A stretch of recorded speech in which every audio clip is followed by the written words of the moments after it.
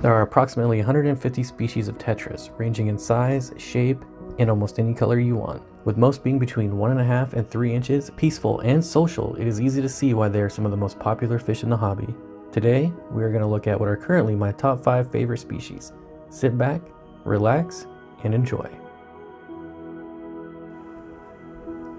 The silver tip tetra coming from Brazil maxes out at 2 inches.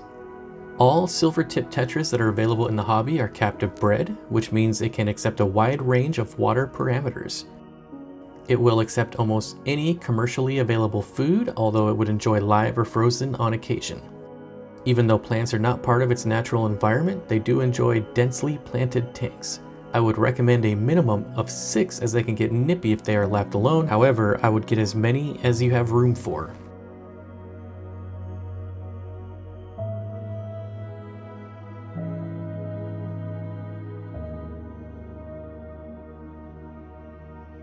Coming from the upper Amazon basin in Peru is the penguin tetra.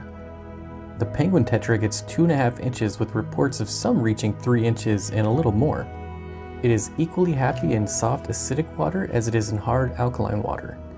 Temperature ranges from 73 to 82 degrees with pH down to 5.5 and up to 8.0. Although it will accept dried foods, in nature it is a micropredator. Feeding live or frozen regularly will help it achieve its best colors. As with most tetras, these are a schooling species, so always buy at minimum 6, but 10 or more would be ideal.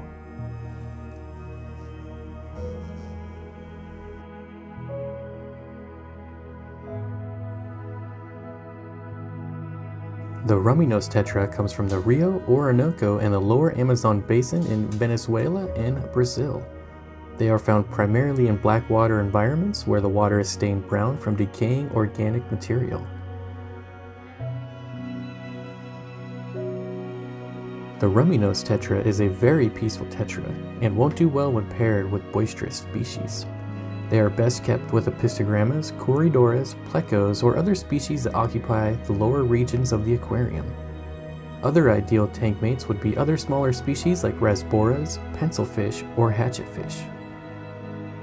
One of the more tightly schooling species, these do best in large numbers of 12 or more.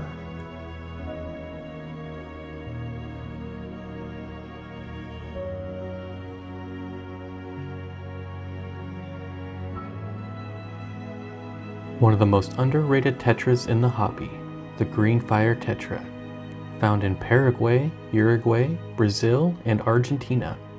A smaller species reaching up to one and a half inches, but don't let its size fool you, as it thinks it's a much larger fish. They can sometimes get a bit angry and nip the fins of slower moving fish. Care should be taken when selecting tank mates. Faster moving species and species that don't have long fins would work well with these tetras. They will also appreciate moderately faster flowing water than other species of tetras. Not a fussy eater, they will accept good quality flake supplemented with the occasional live or frozen food.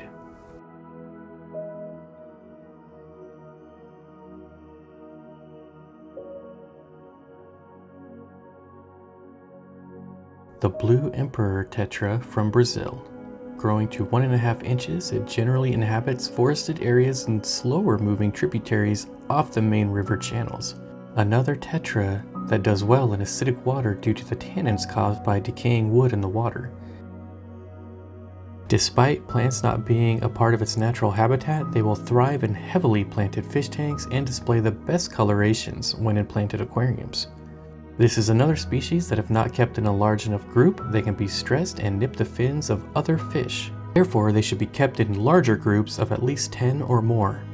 They have no special requirements when it comes to diet, however like most tetras, froze and live foods would be appreciated on occasion.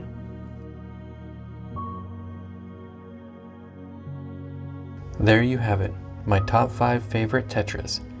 I'm curious what your favorites are, so be sure to leave them in the comments below. Thanks for watching, be sure to hit the thumbs up button, and I'll see you all next time.